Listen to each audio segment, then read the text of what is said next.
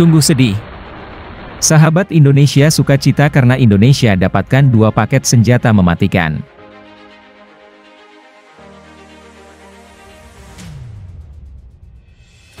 Perlombaan pengadaan senjata di kawasan Asia Pasifik saat ini sangatlah besar terutama negara-negara sekutu AS di Asia Pasifik yang melakukan beberapa kontrak pembelian senjata berikut kerjasamanya salah satunya adalah Indonesia yang baru-baru ini melakukan pembelian besar-besaran terhadap senjata kelas canggih.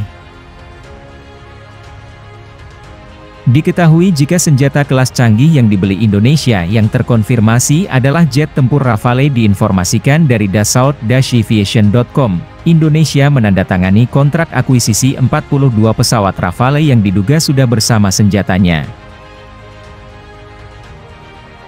Dengan pembelian Rafale membuat Indonesia menjadi negara pertama di Asia Pasifik yang menggunakan senjata canggih ini dan ada informasi terbaru lainnya bahwa sahabat Indonesia akan bersuka cita setelah permintaan segera dikabulkan untuk membeli senjata.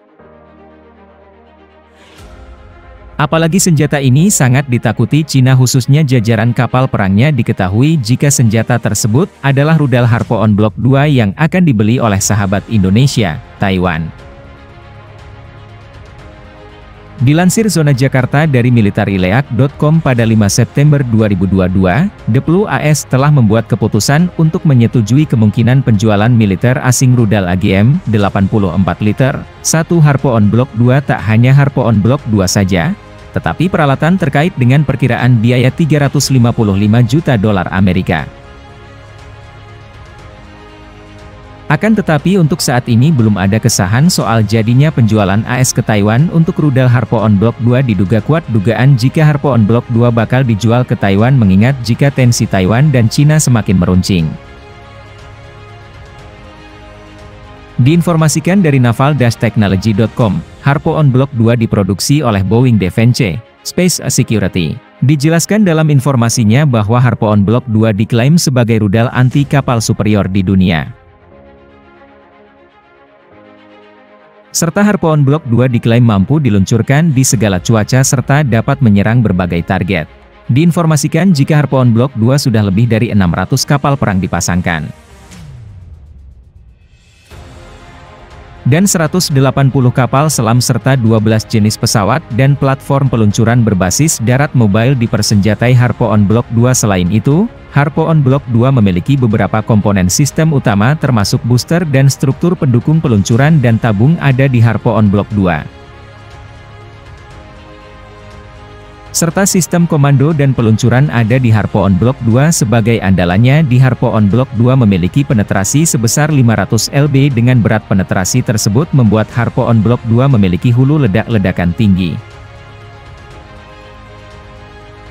Ini artinya Harpoon Block 2 mampu merusak kapal sekelas perusak ataupun kapal induk diketahui juga di Harpoon Block 2 dapat diluncurkan kapal memiliki panjang 4,62 m sedangkan panjang Harpoon Block 2 yang diluncurkan dari udara adalah 3,84 m.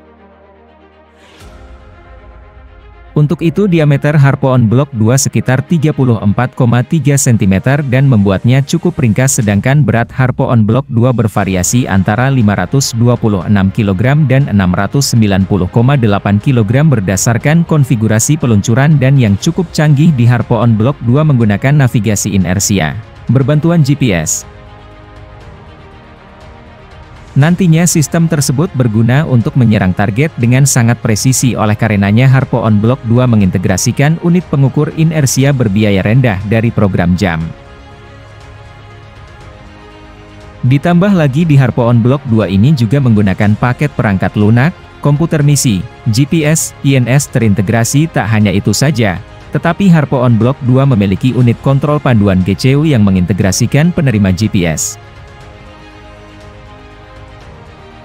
Dengan hal tersebut membuat Harpoon Block 2 memiliki sistem navigasi yang akurat dikombinasikan dengan sistem peluncuran dan fitur-fitur canggih Harpoon Block 2 memberikan probabilitas hit yang tinggi terhadap kapal perang alhasil Boeing mengirimkan sekitar 7.500 rudal Harpoon dan Harpoon Block 2 ke Angkatan Laut AS dan 29 negara.